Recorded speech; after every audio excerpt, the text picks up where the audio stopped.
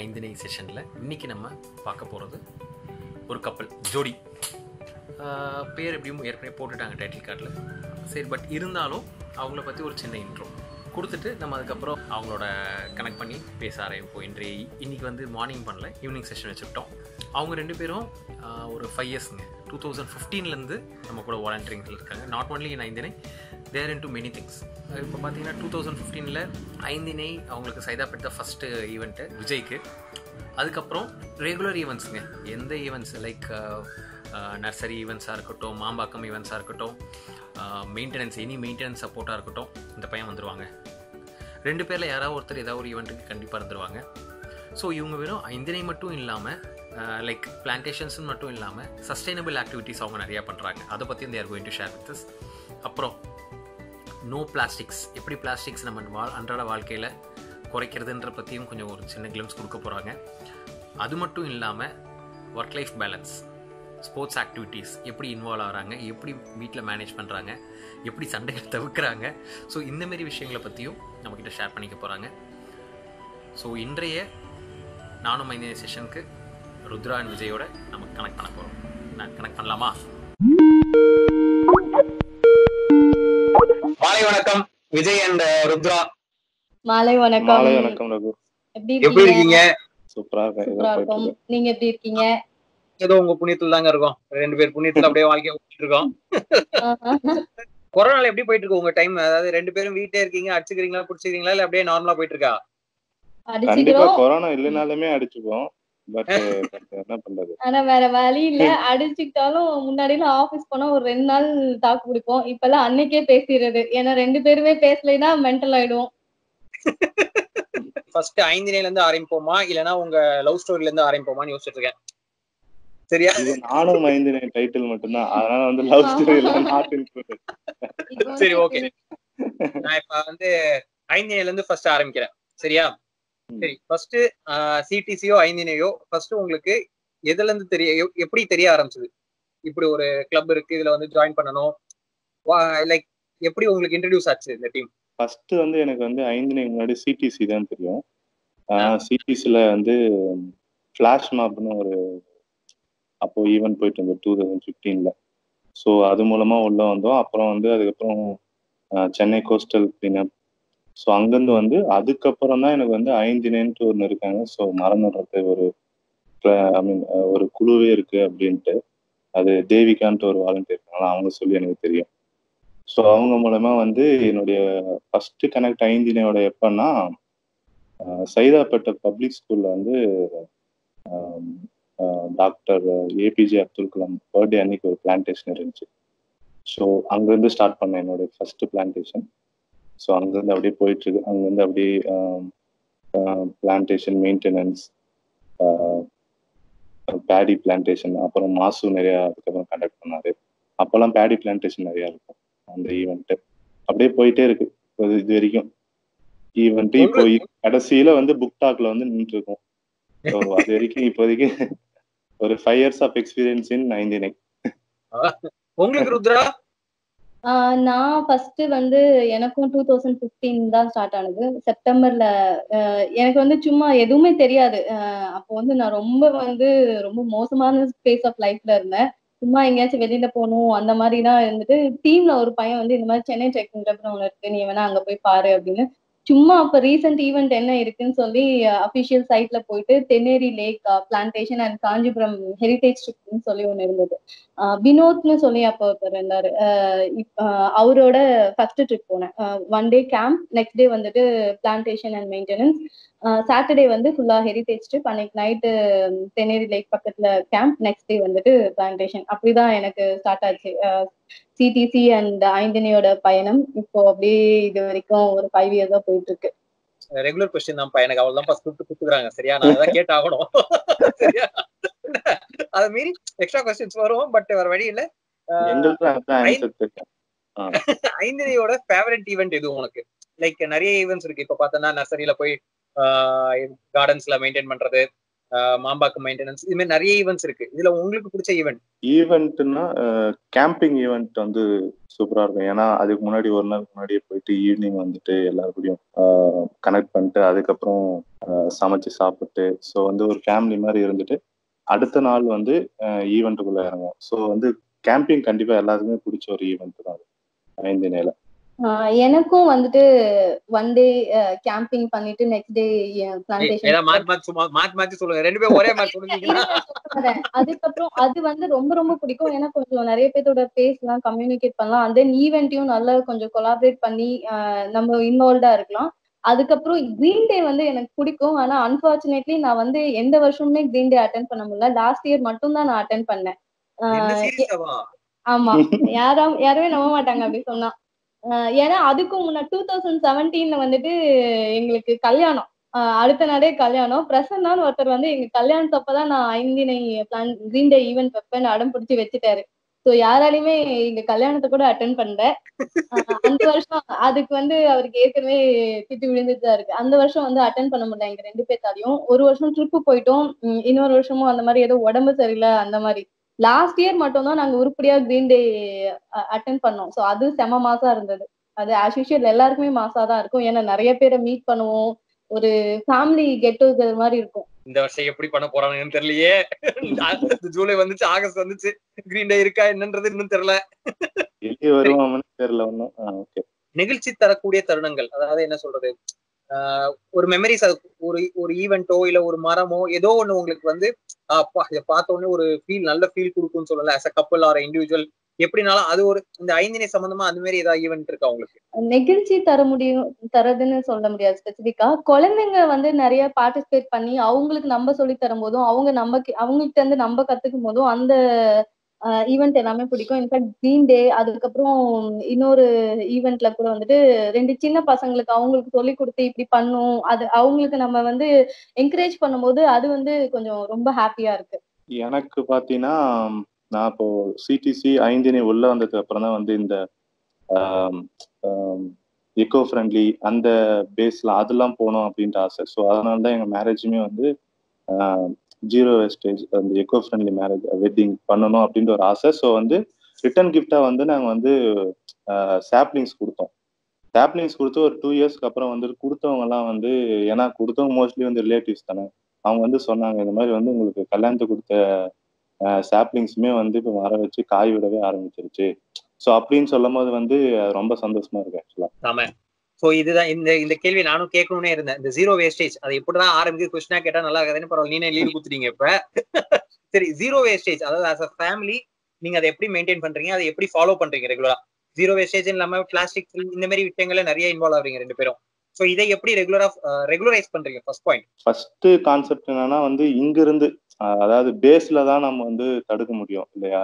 நம்ம போயிட்டு கடைசியில போய் கிளீன் பண்றதுக்கு முன்னாடியே இங்க வந்து நம்ம ஆக்சுவலா அது வந்து தடுக்கலாம். ஸோ அதனால வந்து வீட்டில இருந்து ஸ்டார்ட் பண்ணோம் அப்படின்னு ஆசைப்பட்டோம் அதனால வந்து என்ன பண்ணாங்கன்னா ஃபர்ஸ்ட் இந்த சோப்பு ஷாம்பு ஸோ அதெல்லாம் கம்மி பண்ணலாம். அதுக்கு வந்து என்ன நேச்சுரலா என்ன கிடைக்குது அப்படின்ட்டு நாங்கள் வந்து கொஞ்சம் அப்படி ரிசர்ச் பண்ண ஆரம்பிச்சோம் அப்புறமா இவங்க அம்மாவும் வந்து அதுக்கேற்ற மாதிரி அவங்களே வீட்லயே வந்து சோப் எல்லாம் பண்ணி தந்தாங்க.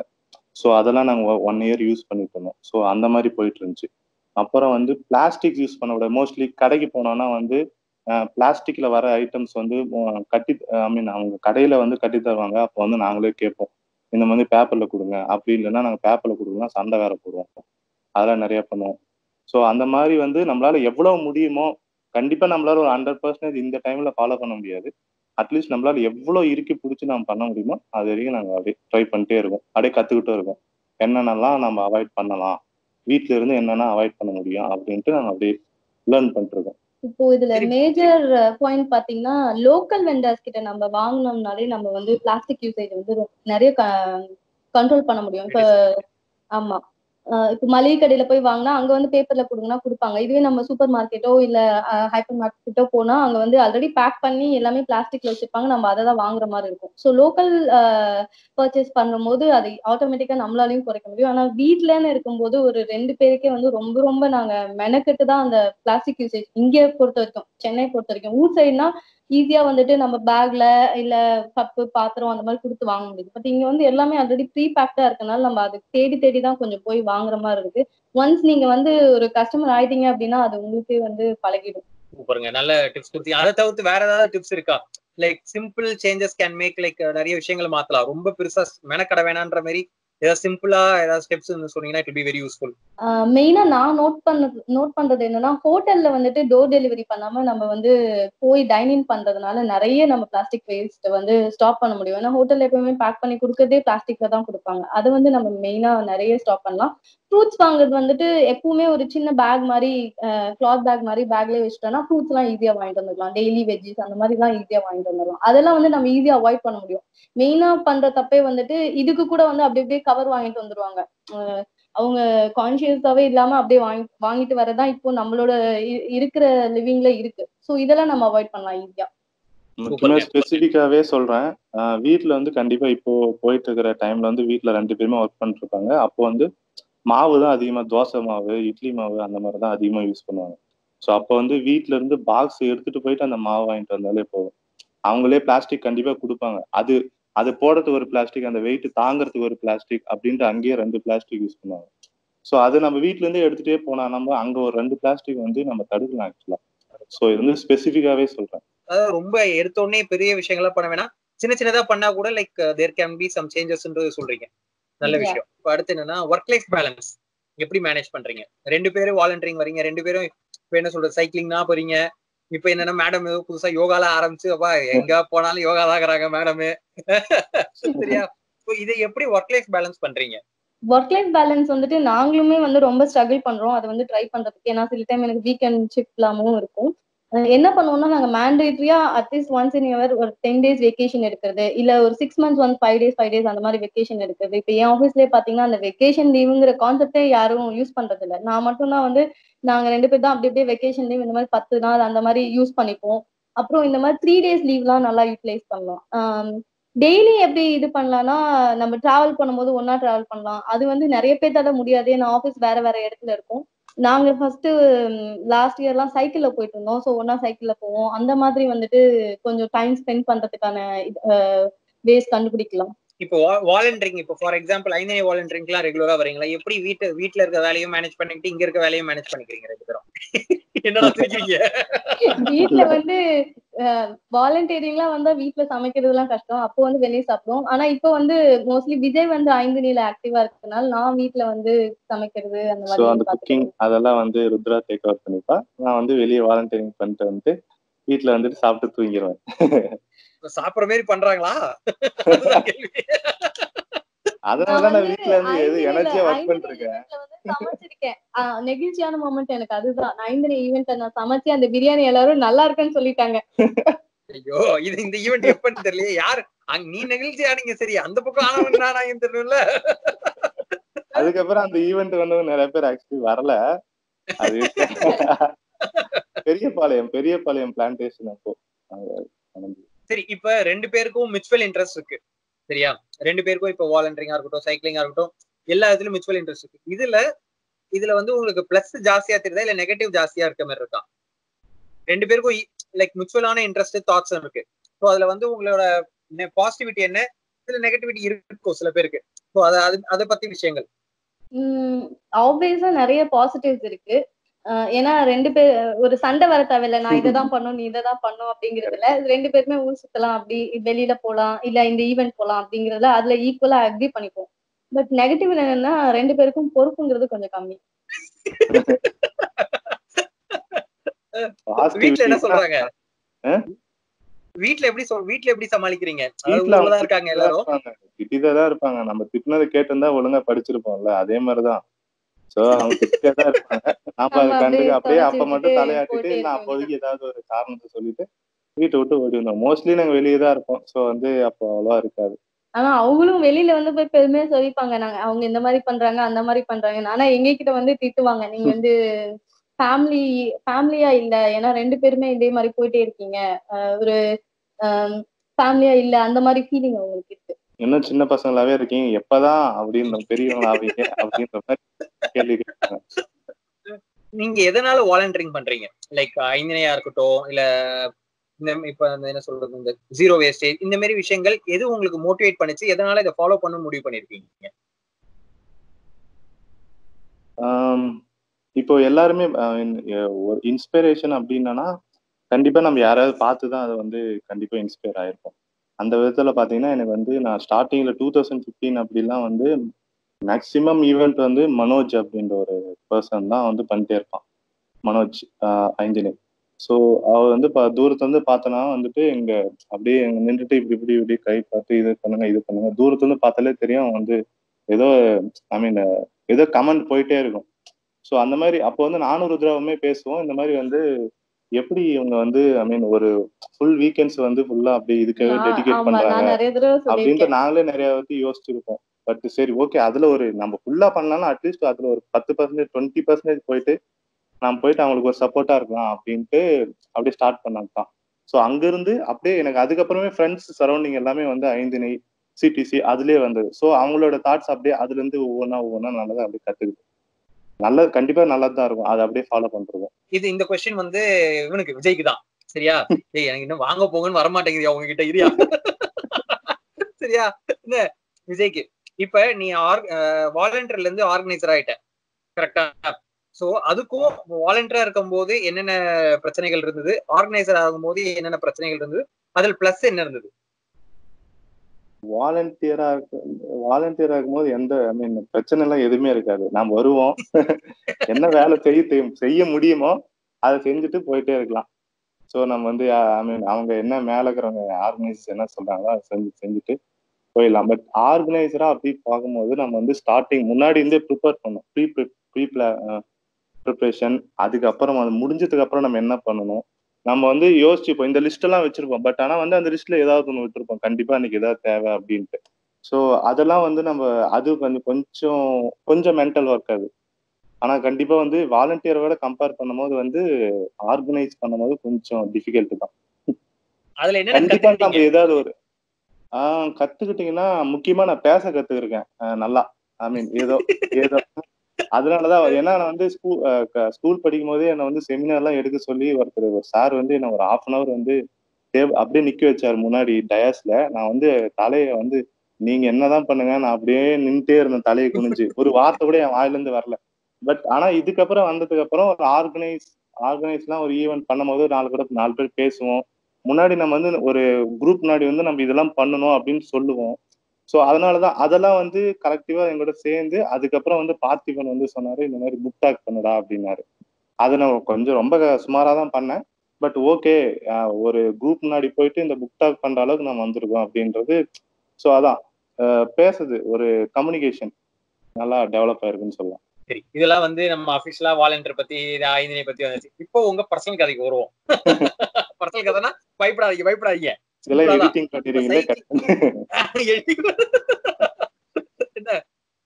இப்ப சைக்கிளிங் ஈவெண்ட்ஸ் நம்ம கூடயே போயிருக்கோம் நம்மளே போயிருக்கோம்.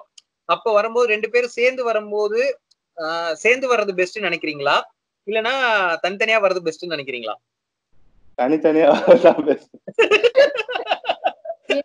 நான் வந்து நிறைய நிறைய திட்டு வாங்குவேன். நான் நிறைய தனியாவும் சைக்கிளிங் போயிருக்கேன். அப்போ வந்துட்டு யாரும் என் மூஞ்சி மேல என்னால என்னை திட்ட முடியாதுன்னு சொல்லிட்டு போய் தலைன்னு விட்டுருவாங்க ஆனா விஜயோட வந்தா அதுல ஒரு அப்சைடும் இருக்கு. என்னன்னா ஓகே நம் நம்ம இதெல்லாம் தான் தப்பு பண்றோம். நம்ம இதெல்லாம் கொஞ்சம் மாத்திக்கணும் அப்படின்னு விஜய் நிறைய பயங்கரமா திட்டுவான்.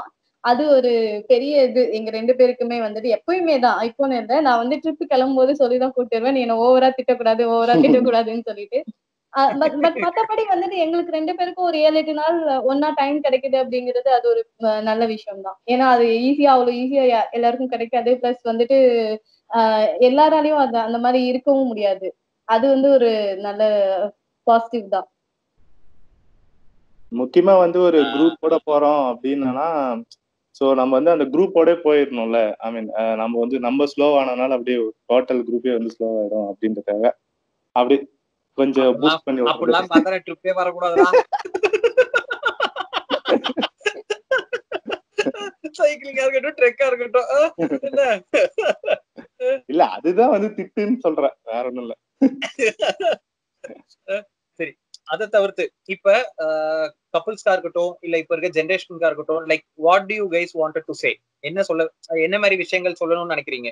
எப்படி மிச்சுவலா எடுத்துட்டு போகணும்? எந்த மாதிரி ஹவு டு அந்த லைக் லைஃப் லைக் என்ன சொல்றது? ஒர்க் லைஃப் பேலன்ஸ் எப்படி மேனேஜ் பண்ணும் பர்சனல் லைஃப் எப்படி மேனேஜ் பண்ணுன்றது உங்க தாட்ஸ் அண்ட் சஜஷன்ஸ் என்வரான்மெண்ட் அந்த மாதிரி இதுல வந்துட்டு சேஞ்ச் வந்து நம்ம கிட்ட இருந்து நம்ம சின்ன சின்ன சேஞ்ச் பண்றதுல இருந்தா வந்துட்டு நம்ம பெருசா எதுவும் பண்ண தேவையில்ல. நான் ஒரு பத்து செடி வைக்கணும் அதை வந்து இது பண்ணும் அந்த மாதிரி தேவையில்ல. நம்மளால நம்ம வீட்ல என்ன சேஞ்ச் பண்ண முடியுமோ நான் பிளாஸ்டிக் யூஸ் பண்ணாம இருக்கேன். இந்த இதெல்லாம் நான் அவாய்ட் பண்றேன். ஆஹ் இல்ல இந்த மாதிரி ஈகோ ஃப்ரெண்ட்லியா நான் இருக்கேன். அந்த மாதிரி வந்து எங்கர் ஜென்ரேஷன் ஸ்டார்ட் பண்ணாதே வந்து அது பயங்கர சேஞ்ச் கொண்டு வரும். ஏன்னா நம்ம வீட்ல இருந்து போற குப்பையே பாத்தீங்கன்னா ஒரு ஒரு வருஷத்துக்கு எவ்வளவு டன் இருக்கும் பிளாஸ்டிக் அதெல்லாம் நம்ம அவாய்ட் பண்ணாலே வந்து கொஞ்சம் நல்லா இருக்கும். பர்சனலா ஒர்க் லைஃப் பேலன்ஸ் பார்த்தா அது நம்ம தான் ட்ரை பண்ணணும். ஏன்னா நம்ம வேலை செஞ்சுட்டு இருக்க வேலை செஞ்சுட்டு இருக்க வேலை வாங்கிட்டே தான் இருப்பாங்க. நம்ம தான் நம்மளுக்கான பிரேக் எடுத்துக்கணும். நம்மளோட எமோஷனல் வெல்னஸ் வந்து நம்ம தான் பார்த்துக்கணும் மியூச்சுவல் அண்டர்ஸ்டாண்டிங் வந்துட்டு அஃப்கோர்ஸ் ரெண்டு பேருக்கும் நிறைய எங்களுக்குமே வந்துட்டு நிறைய மிஸ் அண்டர்ஸ்டாண்டிங் இருக்கு நிறைய வேறுபாடுகள் இருக்கு. ஆனா வந்துட்டு எங்களுக்கான ஒரு காமனான விஷயம் இப்போ வந்து ஓகே பிளாஸ்டிக் யூஸ் பண்ண கூடாதுங்கிறது காமனான விஷயம். அதை ரெண்டு பேருமே அக்ரி பண்ணிப்போம். அது வந்து பொதுவா எல்லாருக்குமே ஓகே இது கரெக்ட்ங்கிறது தெரியும். அந்த மாதிரி விஷயம்லாம் அக்ரி பண்ணிக்கலாம். சின்ன சின்ன விஷயம் ஃபுட்டு அந்த மாதிரிலாம் அதெல்லாம் வந்துட்டு போக போக தான் சரியாகும். இல்லைன்னா அது வந்து மத்தவங்களோட இண்டிஃபரன்ஸை நம்ம புரிஞ்சுட்டு அட்ஜஸ்ட் பண்ணி இருக்கணும் சேஞ்ச் இல்லைன்னா அதான் வீட்ல இருந்து ஸ்டார்ட் பண்ணோம் அப்படின்றது தான் ஒரே ஒரு இது குறிக்கோள். நம்ம இப்ப சொல்லிட்டோம் இவங்க கிட்ட சொல்லிட்டோம் சரி ஓகே இவங்க ஃபாலோ பண்ணாங்க. அடுத்தது அம்மா கிட்ட சொல்லலாம். அம்மாவும் இப்போ வந்து சொல்லிட்டான் அப்படியே கூட இருக்கிற தம்பிங்க அப்படியே ரிலேட்டிவ்ஸ் அப்படியே சொன்னோம்னா இதெல்லாம் அவங்களுக்கு ஆக்சுவலா புரிஞ்சுப்பாங்க. மெதுவா சொன்னாங்கன்னா அவங்களுக்கே அப்படி தெரிஞ்சுப்பாங்க. நம்ம போயிட்டு இதெல்லாம் பண்ணாதீங்க பண்ணாதீங்க அப்படின்னு சொல்றதுக்கு பதில் இதனால இப்படி எல்லாம் பிரச்சனை வரும் அப்படின்னு சொன்னோம்னாவே அவங்களுக்கு கண்டிப்பா புரியும். அப்புறம் பர்சனல் பர்சனல் லைஃப் அப்படின்னா என்னன்னா ஒருத்தர் பேசினா இன்னொருத்தர் அமைதியா இருந்துடணும் அவ்வளவுதான். அப்பதான் கரெக்டா இருக்கும். ரெண்டு ரெண்டு பேரும் பேசினா கண்டிப்பா பிரச்சனை தான் வரும்.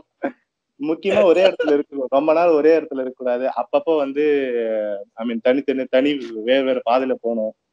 சோ அப்படியெல்லாம் இருந்தானா கண்டிப்பா வந்து கொஞ்சம் ரொம்ப தூரம் போலாம். அதாவது செல்ஃப் தாட்ஸ் வந்து டெவலப் பண்ணிக்கணும் மேரேஜ்னு ஆயிட்டா வந்துட்டு ரெண்டு பேரும் அவங்க ரெண்டு பேரையும் சேர்த்துதான் யோசிப்பாங்க. ஓகே எனக்கான எய்ம் இது உனக்கான எய்ம் இது அந்த மாதிரி யோசிக்கிறதே கிடையாது. எல்லாருமே வந்து வீடு வாங்கணும் கார் வாங்கணும் ரெண்டு பேரும் சேர்ந்து தான் வந்துட்டு அவங்கவுங்களோட எய்ம்ஸே ரெண்டு பேர்த்துக்குமா தான் இருக்கு. தனித்தனியான எய்மோ கோல்ஸோ செல்ஃப் தாட்ஸோ வந்து குறைஞ்சிரும் ஆஃப்டர் மேரேஜ் ஸோ அது வந்து பேலன்ஸ் பண்ணி பார்த்துக்கிட்டாலே கரெக்டா சூப்பர். உங்க இனிமையான மாலை பொழுது எங்களோட டைம் ஸ்பெண்ட் பண்ணதுக்கு ரொம்ப ரொம்ப நன்றி. லைக் லைக் ரொம்ப நாள் கழிச்சு உங்களை பாக்குறதுக்கு ரொம்ப சந்தோஷமா இருக்கு. ஆக்சுவலி நம்ம மீட் பண்ணி எப்படி ஒரு சிக்ஸ் செவன் மந்த்ஸ் இருக்காது. கண்டிப்பா நாம கடைசியா சைக்கிளிங் ட்ரிப்ல பார்த்ததுன்னு நினைக்கிறேன். அக்கறையில எங்கேயோ பார்த்தோம் ஈவெண்ட்ல ஏதாவது ஒன்று கடைசியா பார்த்ததுக்கு அப்புறம் இப்பதான் பாக்குறோம்.